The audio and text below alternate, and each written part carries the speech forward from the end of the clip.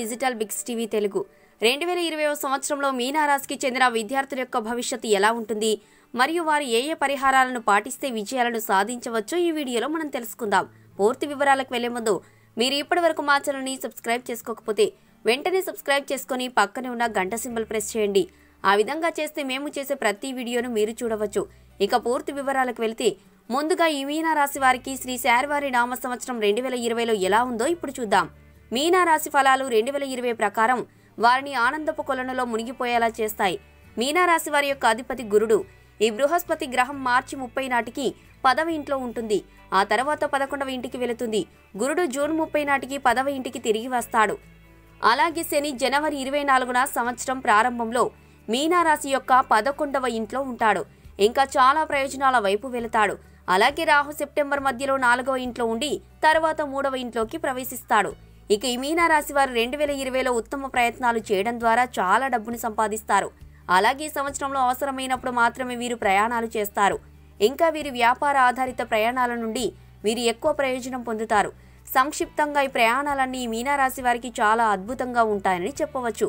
అలాగే వీరికి ఉద్యోగంలో బదిలీలు అయ్యే అవకాశాలు ఎక్కువగా ఉన్నాయి.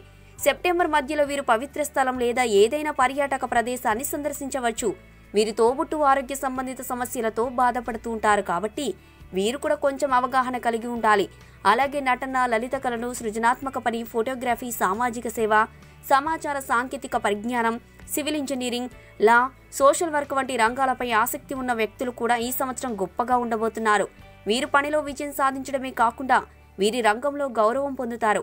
అలాగే కొంతమంది రాజకీయాల వైపు మొగ్గు ఉన్నవారు కూడా ఈ రంగాలలో విజయం సాధించవచ్చు.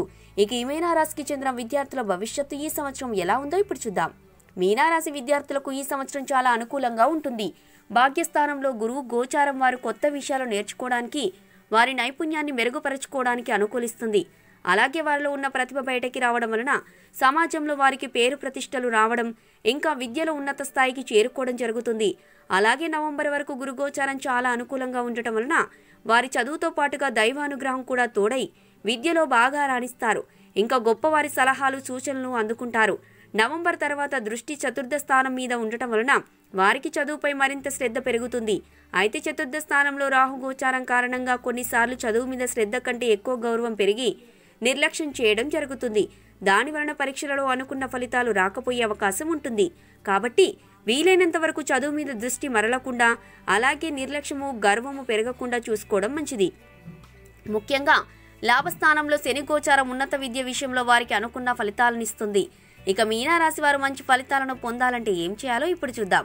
ఈ సంవత్సరం ప్రధానంగా రాహు గోచారం అనుకూలంగా ఉండదు కాబట్టి రాహు పరిహార క్రియలు చేయడం వలన మానసిక ఒత్తిడిలు పని ఒత్తిడి తగ్గి ఉద్యోగంలో విద్యలో మంచి ప్రగతి సాధిస్తారు. అలాగే రాహు మంత్ర జపం చేసుకోవడం కానీ లేదా రాహు స్తోత్ర పారాయణం చేయడం కానీ లేదా దుర్గా స్తోత్ర పారాయణం చేయడం కానీ చాలా మంచిది. ఒకవేళ మానసిక ఒత్తిడి కానీ పని ఒత్తిడి కానీ ఎక్కువగా ఉన్నట్లయితే దుర్గా సప్తశతి పారాయణం దానికి మంచి ఫలితాలను ఇస్తుంది. ఈ వీడియో నచ్చినట్లయితే లైక్ చేయండి షేర్ చేయండి. మరియు మీ అభిప్రాయాలను ఈ వీడియో కింద కామెంట్ రూపంలో తెలియజేయడం మాత్రం మర్చిపోకండి. Thank you